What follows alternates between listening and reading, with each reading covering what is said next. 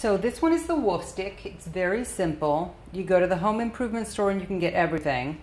You or the fabric store where you can get the burlap. Um, you want some fabric that's fun. You don't need burlap. You can use any old towels or anything like that. I use burlap because a lot of a lot of bite work dogs use burlap, and my little girl seems to like that. This is just a length of PVC pipe. This one happened to come with this little thing at the end, but any two to four foot length of PVC pipe.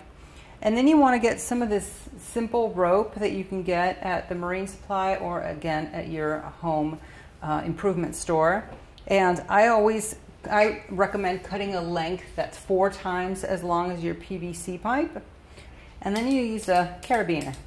Just one of these simple things. And this makes it easy for you to attach different toys to the end. You don't always have to make a little fun thing with this burlap or with towels. You can add any toy as long as you can clip it with the carabiner. All you do is you thread your little thingy through. Just get the whole rope into it all the way down to the end.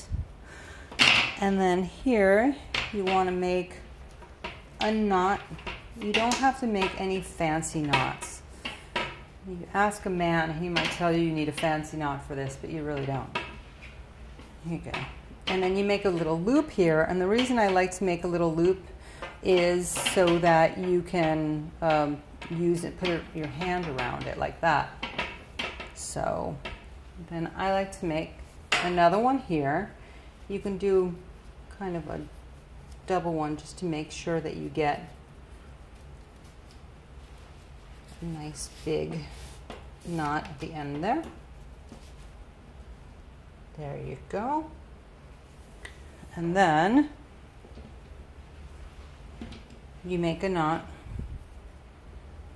Oops, that's good for the carabiner.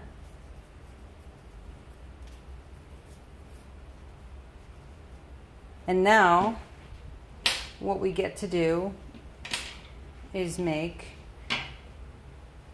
a fun toy out of burlap. I like to make, the last toy I made, I'll show you this one. This one has been well used.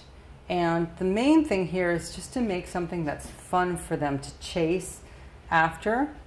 And so you just kind of want to make a bunch of little braids. That's how I made that one. So in this case, I've got the end, the a folded edge this way, and the loose edges this way, and I'm going to cut through the loose edges until about two thirds of the way through. And I'm going to make at least two braids and each braid has three little tabs, as you can see. One there. One, two, three. We'll start with that one. Okay. Watch me make this little braid.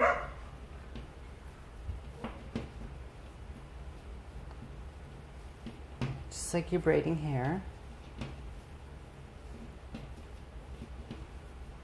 And then once you get to the bottom, you just make a little knot.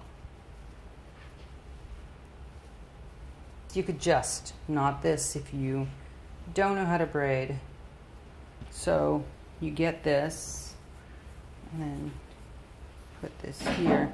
And in this case, I would probably recommend just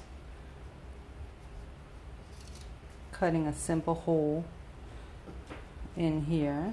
Make sure you just get this carabiner around it.